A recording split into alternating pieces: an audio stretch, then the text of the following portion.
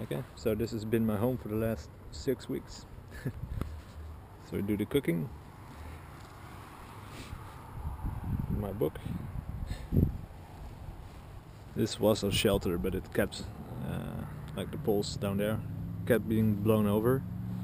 So, with all the wind, I decided to leave it down for now. This was supposed to be a kitchen, but we never used it.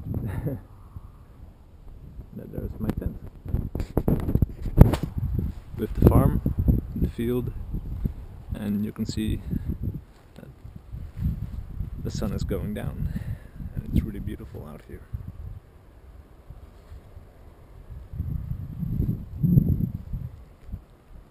It's nice and orange. And like I said, this has been my home.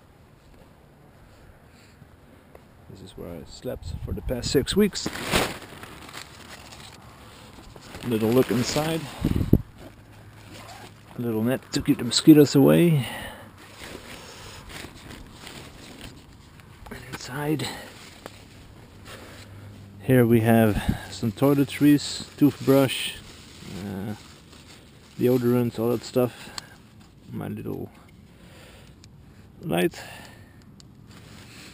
food cooking kit always important the MSR fuel bottle my backpack with all my clothes and other stuff of course I sleep on the right all my stuff is on the left so I've got my jacket my little uh,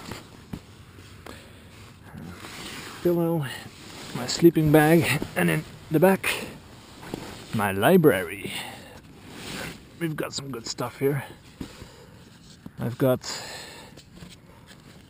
Game of Thrones, The Clash of Kings, Storm of Swords, all of which I finished by now. Uh, Michael Crichton's Jurassic Park and The Andromeda Strain. My little diary. One of the greatest books in the world, Walden or Life in the Woods by Henry David Thoreau. And last but not least, All Quiet on the Western Front, which is by far one of the most important books you will ever read. So, if you get a chance, get it. And that's pretty much it.